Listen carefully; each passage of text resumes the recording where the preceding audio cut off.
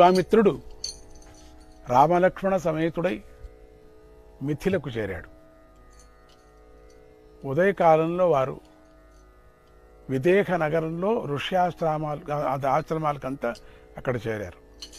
అప్పుడు జనకుడు విశ్వామిత్రుడి ఆగమన వార్తను విని ఆనందంతో పూజా సామగ్రిని తీసుకొని కులగురువైన శతానందుడితో కలిసి వచ్చి సాష్టాంగ ప్రణామం చేసి విశ్వామిత్రుణ్ణి పూజించాడు. విశ్వామిత్రుడికి అటు ఇటు నిలబడి ఉన్నటువంటి ఇద్దరు బాలకులను చూసి ఇలా అడిగాడు. ఓ మహాముని దేవతల వంటి ఈ కుమారులెవరు? వీరు నరనారాయణుల లాగా నాకు సంతోషాన్ని కలిగిస్తున్నారు అన్నాడు. ఇక్కడ నరనారాయణుడు అంటూనే భగవద్గీత పూర్తిగా జ్ఞాపకం వస్తుంది మనకు. మహాభారతం పూర్తిగా జ్ఞాపకం వస్తుంది. అక్కడ నరనారాయణుడు ఎవరు చెప్పండి మీరేనే? జ్ఞాపకం చేసుకోండి. అప్పుడు విశ్వామిత్ర మహర్షి ఆ సోదరును ఆ రామలక్ష్మణుని దశరథ కుమారుని పరిచయం చేశాడు. తాటకావధను తన యజ్ఞాన్ని రక్షించిన విషయాన్ని సుబాహు సంహారాన్ని మారీచుణ్ణి కొట్టడాన్ని అహల్య శాప విమోచనాన్ని తెలిపి ఓ జనక నీ వద్ద ఉన్న శివధనస్సును ఈతడికి చూపించు. దానిని చూసి ఈ రాముడు శీఘ్రంగా అయోధ్యకు వెళతాడు అన్నాడు. ఇది పూర్వపీఠిక వేస్తున్నాడు విశ్వామిత్ర గురువుగారు. ఎందుకంటే ఒక ప్రతిజ్ఞ చేశాడు జనకుడు. ముందు వస్తుంది అది శీఘ్రంగా అయోధ్యకు వెళతాడన్నాడు. ఇది ప్లాన్ చాలా పెద్ద ప్లాన్ వేశాడు. తర్వాత జనకుడు రామలక్ష్మణులకు సత్కరించి పూజించాడు. మంత్రిని పిలిచి శివధనుస్సును వారికి చూపించమని ఆజ్ఞాపించాడు.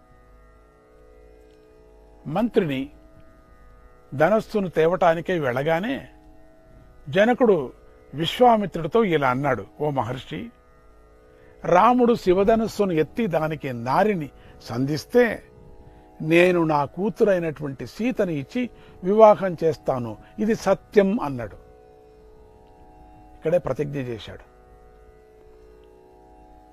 అప్పుడు విశ్వామిత్రుడు చిరునవ్వుతో జనకుడితో ఇలా అన్నాడు. రాజా అలాగే కాని ముందు నువ్వు శ్రేష్టమైన ఆ ధనస్సును తెప్పించి మహాపరాక్రమవంతుడైన రాముడికి చూపించు అన్నాడు. ఇంతలో గొప్ప బలవంతులైన ఐదు వేల మంది వందలాది చిన్న గంటలతోనూ మణులతోనూ వజ్రాలతోనూ అలంకరింపబడిన ధనస్సును మెల్లగా ఒక పెద్ద బండిలో తీసుకొని వచ్చారు. తీసుకొచ్చారు. ఒక రథంలాగా వచ్చింది. మంత్రి రాముడికి ఆ ధనస్సును చూపించాడు. రాముడు ప్రసన్న హృదయంతో దాన్ని చూసి నమస్కారం చేసి నడుము బిగించి అవలీలగా దాన్ని ఎడమ చేతిలో ఎత్తి పట్టుకొని రాజులందరూ చూస్తూ ఉండగా దానికి నారిని సంధించాడు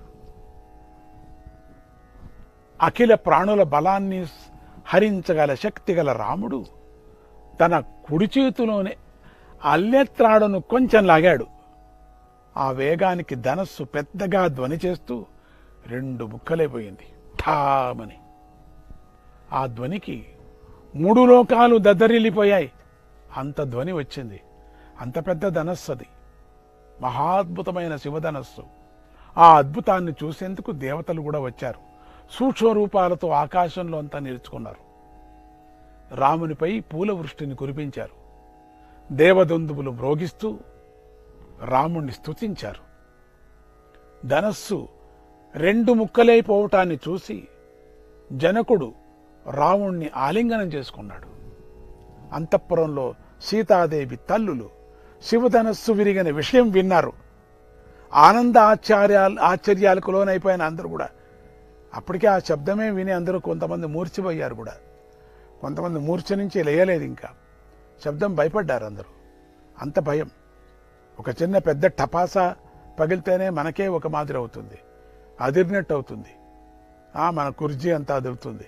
అటువంటిది శివధనస్సు. ఆ ధనస్సు విరిచాడు రాముడంటే సామాన్యమా? అనంతరం సీతాదేవి పట్టు వస్త్రాన్ని ధరించి సర్వాలంకార భూషితై కుడి చేతిలో పూలమాలను పట్టుకొని అక్కడికి వచ్చి చిరునవ్వుతో శ్రీరాముడిలో మెడలో పూలమాల వేసింది. అంతే ఎప్పుడో చెప్పినటువంటి తండ్రి కూడా చెప్పాడు కదా ఇక అంతే ఇది. అప్పుడు రాణులందరూ అంతఃపురంలోని కిటికీల నుండి సీతారాములను చూస్తూ సంతోషించారు. మనం అనేక చిత్రపటాల్లో విరిగిన ధనస్సు పక్కన నిలబడిన శ్రీరాముడు మెడలో సిగ్గుపడుతూ పూలమాలను అలంకరిస్తున్న సీతాదేవిని మనం అప్పుడప్పుడు చూస్తూ ఉంటాం. ఈ వర్ణన వాల్మీకి రామాయణంలో కనిపించదు. ఇటువంటి వర్ణన వాల్మీకి రామాయణం ఇంత విషాదంగా కనిపించదు. అక్కడ సభలో అని చెప్పారు. ఇక్కడ అక్కడికక్కడే అనిపోయింది ఇక్కడ. చిత్రకారుడు ఆ ఊహకు ఆ ఊహకు ఆధ్యాత్మపర ఆధ్యాత్మ రామాయణమనే మూలమని మనకు తెలుస్తున్నది. రవివర్మ చిత్రాల్లో కూడా అదే విడిపించాడు. ఆశ్రమంలో కూడా ఒక అదే చిత్రం ఉంది తాను విడిపించినటువంటిది. రవివర్మ తర్వాత జనకుడు విశ్వామిత్రుడితో ఇలా అన్నాడు. మునీంద్ర మీరు వెంటనే దశరథ మహారాజు గారికి పత్రం రాసి కబురు పంపండి. అప్పటికంతా అదే కదా కబురు పంపించాల్సి ఉంది పత్రం రాసి. ఏ గుర్రం మీదో ఏ పావురాల మీదో వెళ్ళాల్సి వచ్చింది. ఇప్పుడు ఇప్పుడులాగా లేదు అట్లా తక్షణం తక్షణం మెసేజ్ పంపించడానికి అదే మెసేజ్. మెసేజ్ కన్నా వేగంగా వెళ్ళేది ఆ గుర్రాలు అతి వేగం కంటికి కనపడేవి కాదు అని చెప్తారు. వాయు వేగంతో జరిగేటువంటి పనులు అప్పుడు అప్పటికప్పటికే జరిగిపోయేది అది. ఇంకా ఇంటర్నెట్ అన్నా ఏదో లేట్ అవుతుందేమో అంతకన్నా తొందరగా వెళుతుంది అది. అటువంటి మనోవేగంతో వెళ్ళేటువంటి గుర్రాలు మనోవేగంతో వెళ్ళేటువంటి పావురాళ్ళు అవే వాళ్ళే పోస్ట్ పోస్ట్ మ్యాన్లు వాళ్ళేవి. అసలే కనపడవు ఇక. పత్రం ఇవ్వటం పేరు చెప్పటం ఇటు అక్కడికి వెళ్ళి ఇవ్వనంతే దశరథ మహారాజు గారికి పత్రం రాసి కబురు పంపండి. వారిని శీఘ్రంగా పుత్రమిత్ర సపరివారంగా ఇక్కడికి విచ్చేయమనండి అని కోరాడు. అందుకు మునీంద్రుడు అంగీకరించి ఈ శుభవార్తను దశరథ మహారాజు గారికి తెలపమని వేగంగా వెళ్ళే దూతలను ఆజ్ఞాపించి పంపాడు. దూతలు వేగంగా అయోధ్యకు చేరి దశరథ మహారాజుకు ఆ శుభవార్తను తెలిపారు. దశరథుడప్పుడు శ్రీరాముడు చేసిన అద్భుత కార్యం గురించి విని ఎంతో సంతోషించాడు. మిథిలకు బయలుదేరాలని అందర్నీ తొందరబెట్టాడు. సైన్యాన్ని ఆజ్ఞాపించాడు. నా రథాన్ని తొందరగా తీసుకురండి. కులగురువైన వశిష్ఠుల వారు సతీ సమేతంగా అగ్నులను పట్టుకొని రాముడు తల్లులతో కలిసి ముందు నడుస్తారు. వారిని అందరూ అనుసరించెదురుగాక అని ఆదేశించాడు. ముందు నడుస్తాడంటే ముందుగా వాళ్ళు రథంలో కూర్చొని నడుస్తున్నారు. విశాలమైన పరివారంతో విశాలమైన తన రథంలో దశరథ మహారాజు మిథిలకు చేరాడు. అక్కడ జనక మహారాజు తన గురువైన శతానందుడితో కలిసి వచ్చి దశరథ మహారాజును గౌరవించి పూజించాడు. తర్వాత రాముడు లక్ష్మణ సమేతుడై తండ్రి పాదాలకు నమస్కరించాడు. అందుకు దశరథుడు పొంగిపోయాడు ఇలా అన్నాడు. రామా వికసించిన పద్మంలాగా ఉన్న నీ ముఖాన్ని నేను తి- తిరిగి చూడగలుగుతున్నాను. నేనెంతో అదృష్టవంతుణ్ణి. విశ్వామిత్ర మునీంద్రుని అనుగ్రహంతో నాకంతా మంచే జరిగింది అంటూ మాటి మాటికి రాముణ్ణి తన హృదయానికి హత్తుకున్నాడు. హత్తుకొని కౌగిలించుకొని ఆనంద బాష్పాలు కారుస్తూ సంతోషపడుతున్నారు. శిరస్సు మీద ముద్దు పెట్టుకొని బ్రహ్మానందంలో మునిగిపోయాడు. అనంతరం జనక మహారాజు దశరథుని పరివారానికి అంతటికీ సకల సౌకర్యాలను కల్పించి ఏ లోటు రాకుండా చూసుకున్నాడు. తర్వాత ఒక మంచి రోజు శుభముహూర్తంలో శుభ లగ్నంలో జనక మహారాజు లక్ష్మణ సమేతుడైన రాముణ్ణి పిలిపించాడు. వైభవంగా పెళ్ళి పనులు ప్రారంభించాడు. చక్కని మండపం ఏర్పాటు చేశారు. వేద పండితులు ముత్తైదువులతో నిండి ఉన్నటువంటి ఆ మండపంలో శ్రీరాముణ్ణి రత్నసింహాసనం మీద కూర్చోబెట్టాడు. ఆ సమయంలో మంగళధ్వనులు మారుమ్రోగాయి. పురోహితుడైనటువంటి శతానందుడు వశిష్ఠ విశ్వామిత్రులిద్దరినీ పూజించి రామునికి ఇరుపక్కలా ఉన్న ఆసనాల్లో కూర్చోబెట్టి అగ్నిని వెలిగించాడు. అప్పుడు జనకుడు తన భార్యతో కలిసి సర్వాభరణ భూషిత అయినటువంటి సీతాదేవిని శ్రీరాముడి వద్దకు తీసుకొని వచ్చాడు. ఇది ఒకట ఒకదాని తర్వాత ఒకటి. రాముని పాదాలను కడిగాడు. ఆ పాదోదకాన్ని తన శిరస్సుపై చల్లుకొన్నాడు. ఎంత అదృష్టవంతుడు. రామాయ ीत्या रामाय प्रदौदौ प्रीत्या। पा रामाय प्रदौदौ प्रीत्या। पाणिग्रह विधान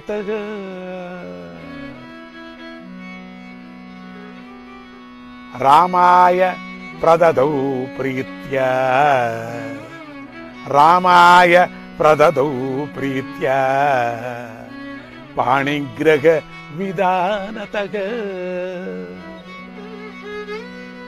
सीता कमल पत्राक्षी सीता कमल पाणिग्रहविदानतः सीताकमलपत्राक्षी सीताकमलपत्राक्षी स्वर्णमुक्तादिभूषिता स्वर्णमुक्तादिभूषिता दीयते मे सुतातुव्यम् दीयते मे सुतातुव्यम् प्रीतो भव रघोत्तमा। प्रीतो भव रघोत्तमा। इति प्रीतेन मनसा। इति प्रीतेन मनसा। शीतायां रामकार्येर्भयम्। सीतां रामकार्येर्भयन् सीतां रामकरेभयन्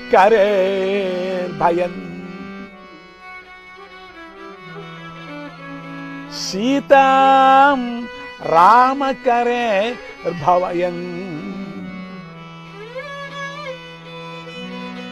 मुमोदजनको लक्ष्मीम्। को लक्ष्मी विष्णवे। क्षीराब्दिरिव विष्णवे।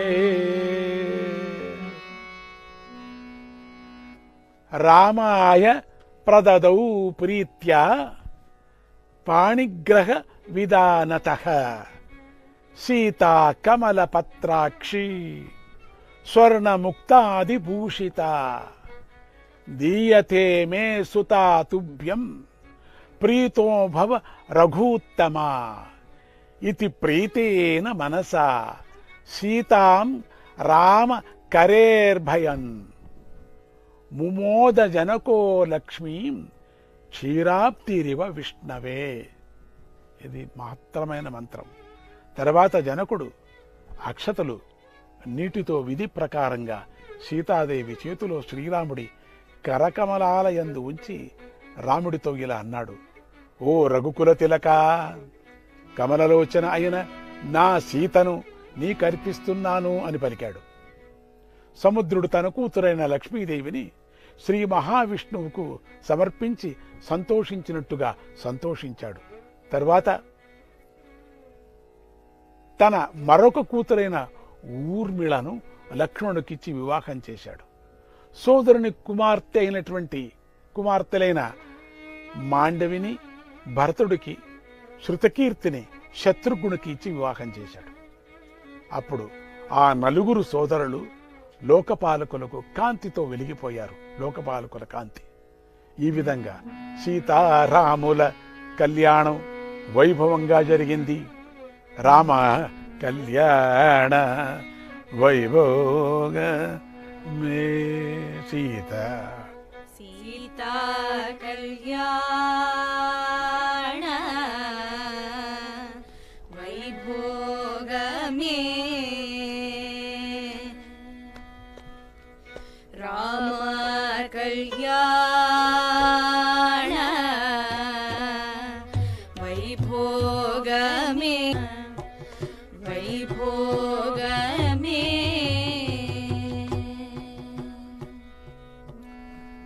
రామాయ ప్రదదౌ ప్రీత్యా రామాయ ప్రదదౌ ప్రీత్యా పాణిగ్రహ విధానత సీతా కమల పత్రాక్షి స్వర్ణముక్తాది భూషిత దీయతే మే సుత తుభ్యం ప్రీతో భవ రఘూత్తమ ఇతి ప్రీతేన మనస సీతాం రామకరేర్పయన్ ముమోదజనకో లక్ష్మీం క్షీరాబ్ది రివ విష్ణవే. తర్వాత జనక మహారాజు తన కూతురైన సీతా విషయంలో తనకు నారద మహర్షి చెప్పిన వృత్తాంతాన్ని అన్నీ కూడా వశిష్ఠ విశ్వామిత్ర మహర్షులకు ఇలా చెప్పాడు. మహర్షులారా నేను ఒకసారి యజ్ఞభూమిని శుద్ధి చేయాలని నాగలితో భూమిని దున్నుతున్నాను. అప్పుడు నాగలి కొన నుండి శుభలక్షణాలు గల చంద్రుని వంటి ముఖం గల కన్య ఆవిర్భవించింది. ఆమెను నా కూతురుగా భావించి నా భార్యకు అప్పగించాను. ఒకనాడు నేను ఏకాంత సమయంలో ఉండగా అక్కడికి నారద మహర్షి నారాయణ స్మరణ చేస్తూ వచ్చాడు. నేను ఆయనకు ఆసనమిచ్చి పూజించాను.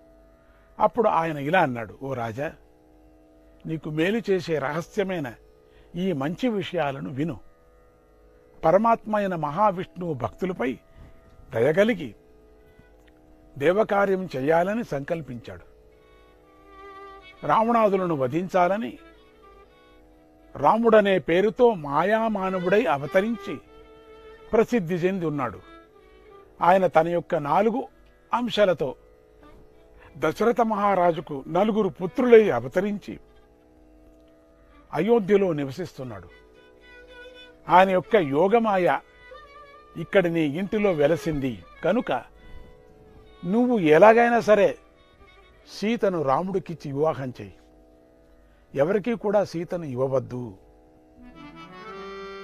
నాణ్యేభ్య పూర్వ భార్యైషా. నాణ్యేభ్య పూర్వ భార్యైషా. రామస్య పరమాత్మనక రామస్య పరమాత్మనక ఎందుకంటే ఈ సీత మొట్టమొదటి నుండి పరమాత్మనైన శ్రీరాముడికే భార్య అయి ఉంది అని చెప్పి ఆకాశ మార్గంలో వెళ్ళిపోయాడు. ఆ రోజు నుంచి నేను సీతను మహావిష్ణువు భార్య అని లక్ష్మిగానే నేను భావిస్తున్నాను. కూతురుగా భావించనే లేదు. ఈమెను రాముడికి ఎలా సమర్పించగలనా అని ఆలోచించి ఒక ఉపాయం పన్నాను. పూర్వం శివుడు త్రిపురాసురులను వధించినటువంటి తర్వాత తన ధనస్సును మా తాతగారికి ఇచ్చి దాచి ఉంచమన్నాడు. నాటి నుండి అది మా ఇంట్లోనే ఉంటుంది. అది అందరి గర్వాన్ని హరిస్తుంది. సీతను పెళ్ళి చేసుకోవాలనుకునేవారు ఆ ధనస్సును విరవాలి అనే విషయమాన్ని ఆ నియమాన్ని నేను పెట్టాను. అందుకని ఎవరు నా జోలికి రాలేదు. ఓ విశ్వామిత్ర మునీంద్ర మీ దయవల్ల నేటికి రాముడు ఆ ధనస్సు చూడటానికై వచ్చాడు. నా కోరికను తీర్చాడు అని శ్రీరాముడితో జనకుడు ఇలా అన్నాడు. శ్రీరామ నేడు నా జన్మ ధన్యమైంది. నా సీతను నిన్ను ఒకే ఆసనంపై చూస్తున్నాను. నీ పాద జలాన్ని శిరస్సున ధరించటంతో బ్రహ్మదేవుడు సృష్టిని నడపగలుగుతున్నాడు. అలాగే బలిచక్రవర్తికి కూడా ఇంద్ర పదవి లభించింది. నీ పాద స్పర్శతోనే అహల్యాదేవి తన యొక్క పతిశాపం నుండి ఉద్ధరించబడింది. నీకన్నా నాకు రక్షకులెవరూ లేరు యత్పాద పంకజ పరాగ సురాగ యోగి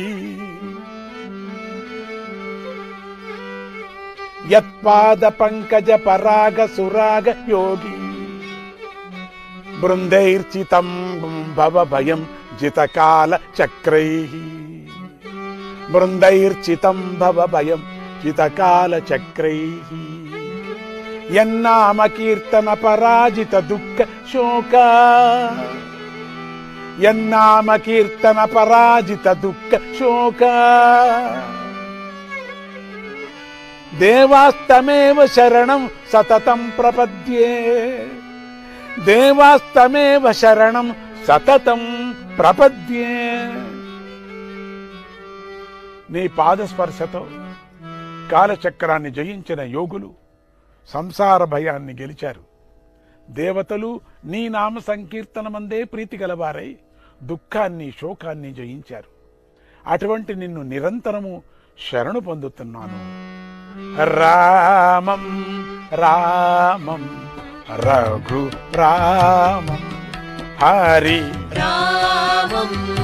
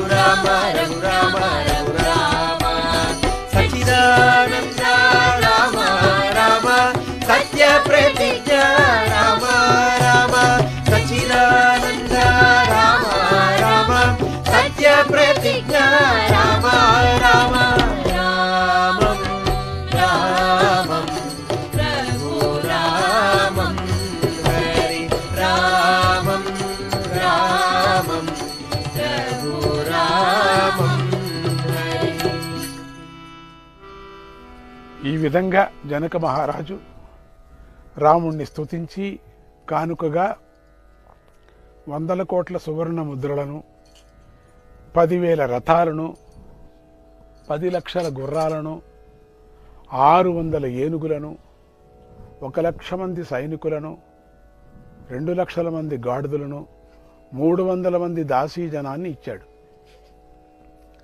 కూతురిపై ప్రేమతో అనేక దివ్య వస్త్రాలను కూడా ముత్యాలను రత్నాలను వాటితో పొదగబడిన మంచి హారాలను ఇచ్చాడు. తర్వాత వశిష్ఠుడు మొదలైన వారిని పూజించాడు.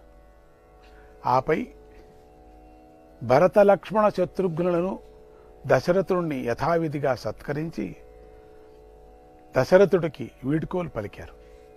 ఆ సమయంలో కన్నీళ్ళు కారుస్తూ ఆ తల్లులు సీతాదేవితో ఇలా అన్నారు అమ్మాయి నువ్వు అత్త మామలను పెద్దలను జాగ్రత్తగా చూసుకో. బాగా సేవించుకో. వారు చెప్పినట్టుగా విని జాగ్రత్తగా నడుచుకో. ఎల్లప్పుడూ నీ భర్త అయిన రాముణ్ణే అనుసరిస్తూ ఉండు. పతివ్రత ధర్మాన్ని అవలంబించి సుఖంగా జీవించు అని బోధించారు. సీతాదేవికి తల్లులు చేసిన ఈ బోధన వాల్మీకి రామాయణంలో కనిపించదు. ఇది అధ్యాత్మ రామాయణంలోనే విశేషం. సీతామాతకు చెప్పినటువంటి బుద్ధివాదాలు వాల్మీకి రామాయణంలో లేదు. అధ్యాత్మ రామాయణంలోనే ఉంది అన్నారు. ఆ తర్వాత శ్రీరాముడు అందరితో కలిసి అయోధ్యకు తిరిగి ప్రయాణమయ్యాడు. శ్రీరామచంద్ర పరబ్రహ్మణే నమః. श्रीरामचन्द्र परब्रह्मणे नमः।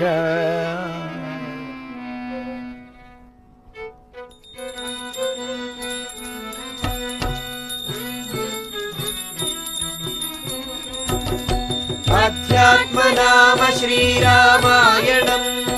आगण्डयादि अध्यात्मनाम श्रीराम कर्मया